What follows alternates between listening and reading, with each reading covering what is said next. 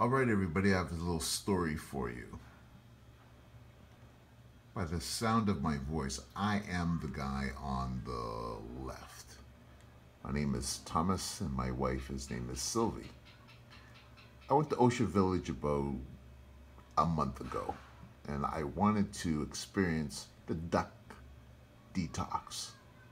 I wasn't able to because I did not have enough duck left. That being said, I decided to see if I can, whoops, let me straighten out this camera here. Okay. I had some business interest in Las Sabas and I also have some business interest in Roatan.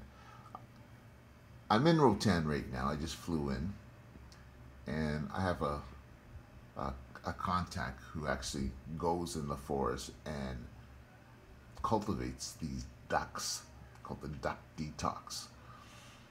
I'm not here for that purpose, but I do I do want to experience this duck like everybody else does. And hopefully I can bring some back to the United States and be able to share it with those of you who want to experience this uh, particular phenomenon called the duck detox. I know I did. And unfortunately, I wasn't able to share that experience at Usha Village. That being said, I just got off the phone and I left a message to an acquaintance of mine and most of you know him. I call him Crush. This is his website and he is one of the administrators over at Who and What, Dr. Sebi. Let me show you the duck. The reason I throw Crush in there is because we are talking about this duck and he wanted me to pick him some.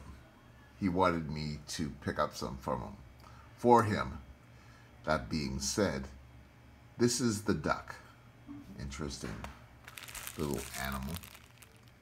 This is the dehydrated version.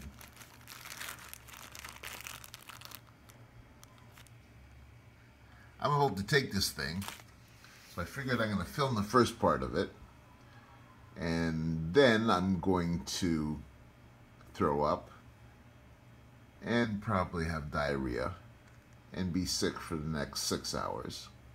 I've made a nice line to the bathroom, so I have no no uh, no barriers.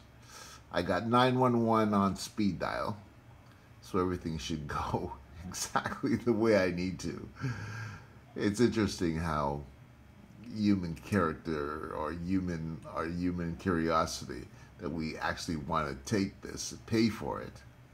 When I was at the village, it was a hundred dollars US for this particular duck, and I couldn't care less. I needed to do it, and I needed to spend the money to experience it. So I have it, and I am about to take it, and uh, I can't say too much. I got my coconut water.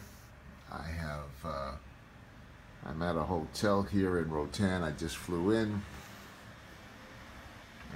I'm about to do my thing. So uh, if you don't hear from me in the next 30 days, you know that uh, it didn't go well.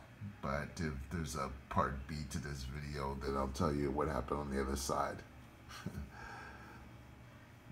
I will definitely talk to you guys later. Bye-bye.